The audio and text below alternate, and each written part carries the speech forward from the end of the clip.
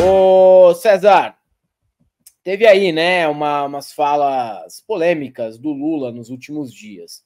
É, e hoje teve uma outra fala do Lula que tá dando uma repercussão. A repercussão porque ele, ele falou que mulheres não gostariam de casar com um ajudante geral, porque o cara não conseguiria sustentar a casa, enquanto ele estava ali, né, fazendo um lançamento de, de, um, de um instituto para habilitar profissionalmente pessoas da favela. Essa fala aí repercutiu mal, né? Repercutiu mal, mas é, é, óbvio, né, que existe o contexto, mas um contexto que também, apesar de ser um contexto que justifi, justificaria a fala, a questão é que às vezes o Lula, cara, faz umas falas um pouco desajeitadas. Vamos passar pano. A fala é desajeitada mesmo. Né? Você pode abordar de uma outra maneira. A fala é um pouco desajeitada e está repercutindo negativamente aqui. É, depois eu vou abrir para você comentar, mas antes dá uma olhada. Há dois séculos atrás, tinha que cortar cana, ou tinha que ser escravo, tinha que trabalhar por senhor de engenho. Depois veio a política industrial, veio, sabe, primeiro a agricultura, sabe, a grande profissão era carpinador de café, era colher café com a mão. Depois veio o corte de cana com máquina. E agora trabalhar em fábrica. Mas em fábrica a gente sabe que a gente tem que ter uma profissão. Se a gente não tiver profissão, a gente vai ser ajudante geral, e ajudante geral não ganha nada. Nem, nenhuma mulher quer namorar com um cara que mostra a carteira profissional. Qual é a tua profissão? Ajudante geral. A mulher fala, pô, cara, nenhuma profissão você tem para levar o feijão, o arroz para casa no final do mês e as crianças que vão nascer. Como é que a gente vai cuidar? Então tem que estudar.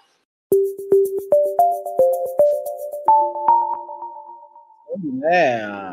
Há dois séculos atrás, tinha que cortar. Anunciando a construção de um Instituto Federal de Educação na, no Complexo do Alemão, no Rio de Janeiro. Isso repercutiu super negativo na bolha bolsonarista. E só que por outro lado ali, né, tem a, a, intencionalidade de explicar o seguinte: bom, a gente vai tentar aqui dar uma dignidade, uma profissão melhor, que não seja só ajudante geral para o pessoal que está na favela. Talvez existe formas pouco mais ajeitadas de falar isso daí. É... Mas, por outro lado, eu acredito que até apelar para o conservadorismo de tiozão é uma estratégia que para o Lula, para o Lula pessoa física, o Lula das ruas, que não é o Lula do Twitter, não é o Lula do Elder, não é o Lula do Calejão, da mesma maneira que o Bolsonaro é múltiplo para as pessoas, o Lula também é múltiplo para as pessoas. O Lula, o meu Lula é um, um, Lula, o Lula do Calejão é outro, de vocês é outro, e o Lula das ruas é outro, porque o eleitor lulista, de forma geral, ele não é um eleitor é, super, né? É, focado nessas questões, nessas minúcias. O cara vai entender o que ele está querendo dizer aí, apesar de, eu reitero aqui, ter uma, um certo uma, uma, certa abordagem desajeitada, né? Como um elefante na loja de cristais, mas isso para nós, isso para nós. Não sei se para quem estava ouvindo também tenha o mesmo, tem o mesmo efeito. É, você matou a análise, é isso, mano. Concordo com absolutamente tudo que você falou. É, a mensagem é boa quando ele diz que tem que estudar, mas talvez ele não tenha colocado isso da maneira mais feliz do mundo para pessoas como eu e você, mas seguramente para uma ampla parcela da população, isso aí vai exercer. Vai exercer a função a que se propõe. Agora, mano, você imagina que pica cabulosa que não é seu Lula, velho? Aqui no chat, cara, você vê se eu faço uma fala um pouco mais séria, as pessoas falam que eu sou chato. Se eu faço uma fala não sei o que, ah, é porque você tá forçando a barra, que você quer fazer piada. Mano, é difícil, Helder. É, você tá ligado? E eu sou o César. Não, não todos. Não é, não, não, assim, cara, assim, o comentário ele é importante. Mas se você for levar muito a sério, cara, isso te adoece. É isso que eu tô, tô, tô dando aqui de quem já lida com internet há pelo menos seis anos. Não, concordo, você concordo totalmente. Óbvio, óbvio. As pessoas gostam da gente, tem que levar em consideração. Mas você levar a sério e ficar encucado com aquilo por Adoece, dia, adoece, mano. Também. Ah, por que, que o Lula, por exemplo, toca o barco e faz aquilo que ele acha que tem que fazer? É impossível agradar todo mundo, mano. Se você for muito para um lado, é porque você está indo para esse lado. Você vai muito para outro lado, é porque você está indo para o outro. Isso, isso se aplica para todo mundo que fala em público, cara. É por isso que eu dei esse exemplo, entendeu? Não tem como. Suponhamos que você não cometa nenhum erro, Maldonado, o que também é impossível, mano. Não, cometo falando, vários todos os dias. Entendeu? Falando todo dia, você mais cedo ou mais tarde você vai cometer um erro grosseiro, você vai falar uma merda, sei lá. Mas suponhamos que esse não seja o caso. Ainda assim, já é impossível agradar todo mundo, mano. Sempre vai ter alguém que vai colar e vai falar: ah, mas o Helder é isso, mas o Maldonado é aquilo. Porra, Maldonado, você tinha que meter essa. Você imagina o presidente da República, velho. Então, o cara é, vai ser. E é um tiozeira, né, cara? É um tiozeira. Uma, porra, tiozeira premium, tá ligado? Tiozeira foda. Mas é um tiozeira, bicho. Ele é um tiozeira. É um tiozeira que gosta de umas bravatas. Normal, normal. Eu, como eu como eu falaria, como o Calejão falaria, a gente falaria diferente. Eu falaria da seguinte maneira: pô, a gente está em 2024 e não dá para aqui no complexo do Alemão, na periferia e na favela, a grande massa de adultos tenham que procurar emprego como ajudante geral. A gente tem que levar o Brasil para a modernidade e que tenha a possibilidade desse cara trabalhar na indústria, tirar esse cara do ajudante geral e pilotar é um torno moderno, entendeu? É, é o comentário, o comentário seria feito dessa maneira por mim, mas até o ajudante geral ele pode ser especializado, galera. Tá ligado? É, até o ajudante geral pode ser especializado. O cara pode fazer um instituto federal, pode fazer um técnico e ser um ajudante que ganha mais. Ah, a questão aí, é, quando a gente fala ajudante geral, eu tô ligado o que, que é. É o cara sem nenhuma especialização. Exatamente, mano. Agora, isso posto, não tem como mesmo, não, velho. Você vai errar, vai, vai perder. Às vezes não foi a maneira mais adequada. A mensagem boa tem que estudar. Sei se eu falaria que a mulher do, do, do ajudante de geral, né? Porra, mano, isso aí é machista pra caraca. Mas é o que você falou, cara. É um tiozinho baby boomer, nasceu em 1945. Muitas vezes, até a forma como ele se articula tem, tem ressonância e tem aderência popular exatamente por isso, entendeu? O cara não fica chamando na hermenáutica e o cara, ele fala lá, vai dar o papo e fala, mano, se você for um puta de um fudido, sua mulher não vai te querer mesmo não e tal. E tem um monte de gente que pira, que fala, puta, mano, o cara foi misógino, o cara foi só falou merda e tal, entendeu? Agora, é isso. É isso, não tem como pedir para o cara acertar o tempo todo, ele vai ser criticado de qualquer maneira, todo mundo que se expõe publicamente é criticado, entendeu? Quiçá o presidente da República.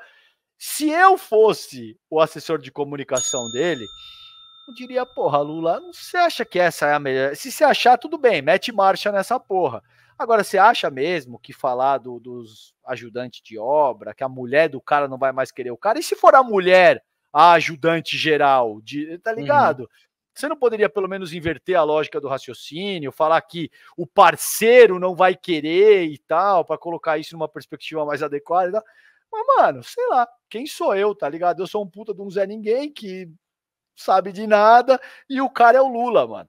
Agora, é o tiozinho. É, mas, mas erra, né? O Lula acerta muito, mas erra também, mas é óbvio, né? O que a gente falou, do ponto de vista do ponto de vista da comunicação, pega mal. E a gente sabe que também tem muita pessoa na espreita para pegar qualquer deslize do Lula e fazer disso algo muito maior do que realmente é.